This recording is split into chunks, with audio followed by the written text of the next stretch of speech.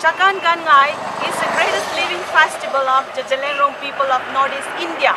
It is a religious and cultural festival that signifies a district identity of Zeliangrong people.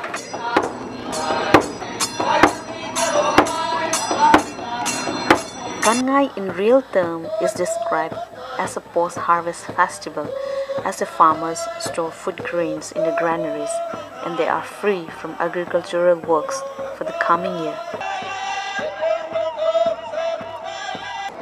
Chakaan means season, Gan means winter and Ngai means festival so it is known as winter season festival.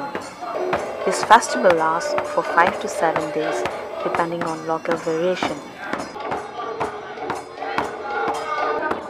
The Zeliangrong people have the richest traditions and cultural heritages among the tribals of Northeast India.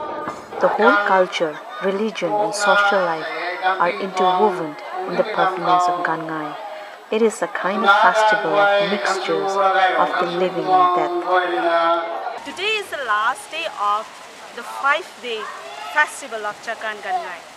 Despite cold during winter season, the people of Zeliangrong community is busy performing dance, songs and sacrificing offering for the grand Gaan-Ngai feast male and girl, old and young allied, great members of each family to enjoy joyously dining together, eating, singing in this festival.